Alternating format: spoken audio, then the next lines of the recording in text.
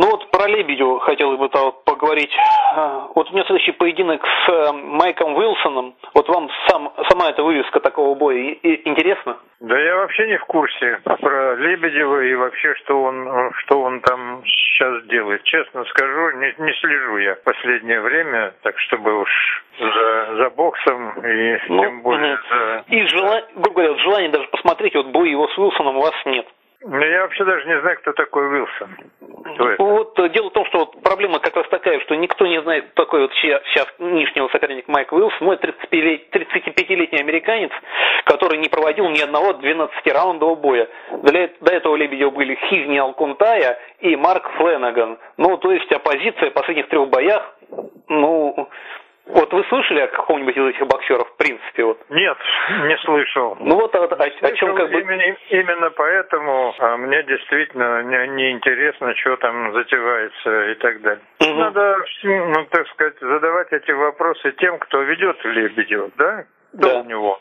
Э, Вадим, ну, Корне... менеджер, Вадим Корнелов менеджер, Андрей Рябинский промоутер. Вот э, не захотели, как я вам сказал, ответить мне на, на, на вот эти вот вопросы. Я, кажется, догадываюсь, почему не захотели.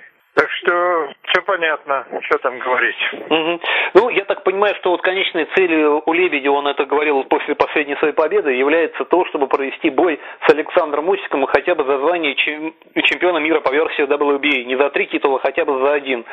А, вот вы Усика недавно видели, скажите, вот в принципе у 39-летнего Лебедева вот какие-то шансы вот, на поединок с Усиком есть? Это вообще интересно кому-нибудь? О, очень сложно мне ответить на этот вопрос, потому что ну, дело даже не в возрасте. А, хотя, в общем-то, это, конечно, весьма такой весомый фактор, когда человек уже а, под 40 лет. Тут это, во-первых. Во-вторых, а, мы же прекрасно понимаем, что профессиональный бокс и матчи – это наполовину спортивное, наполовину коммерческое предприятие. В данном случае э, мне просто любопытно, а кто-нибудь сейчас в мире э, вспомнит про, э, так сказать, Лебедева? Это во-первых, а во-вторых, сам-то Усик, это же как в том анекдоте, да? Собрался жениться на королеве, но она еще не знает. Вот. Вот, поэтому, ну, сам-то Усик-то как к этому отнесся? Собирается он, и что это ему даст? Во-первых.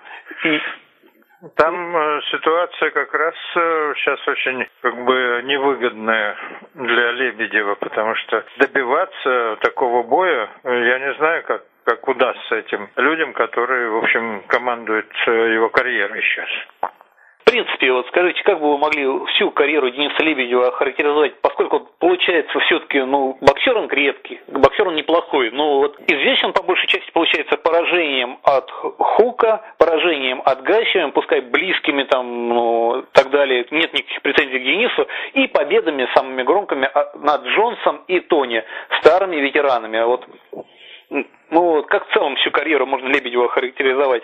Он себя где-то не реализовал или реализовал? Да я думаю, что да. Я думаю, что он все-таки смог выполнить то, что ему, э, так сказать, было положено что называется. Ну, победа над э, вот этими товарищами, конечно, она мало чего дала, кроме того, что это были громкие имена, там все такое проще. Вот. А, вот то, что он провел такие а, тяжелые, но очень а, серьезные бои вот с Хуком и, и с Гасеевым, это, конечно, в его пользу говорит. Вот, так что я думаю, что вот такие ребята, как Лебедев, кстати говоря, они э, и делают бокс, э, профессиональный бокс в массе своей, те, тем, чем он есть. А, то есть индустрии. Потому что когда есть вот такие крепкие бойцы, как Лебедев, и когда их много, все мы прекрасно понимаем, что такое профессиональный бокс и э, чего он стоит. А когда это единицы, вот, и публика вынуждена наблюдать за тем, что ей ну, мало интересно, это, конечно, и сам бокс ставит в такое положение выгодно, в котором он, кстати, сейчас и находится. Да, Через пять лет, боюсь, уже никто и бокс смотреть не будет. При том, как да, и друг... по, по, поистине так. Так уж убирают все соперников, что вот как сейчас мы обсуждаем Лебедева, вот три последних имени, ну что это такое, вот для кого? Ну, знаете, тут э, всегда в таких случаях расчет был на э, неосведомленность публики.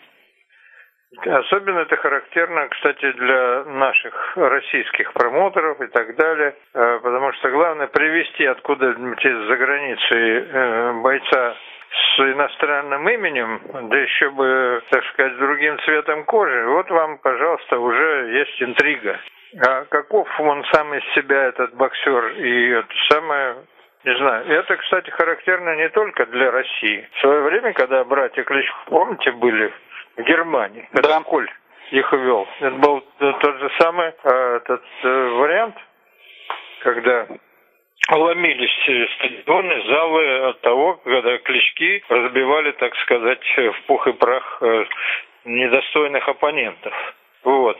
А потом тут получилось так, что ребята оказались далеко не, не, не глупыми людьми. Они прекрасно поняли, что эти победы губят их карьеру. Поэтому и, и пришлось рисковать, и... И проблемы были.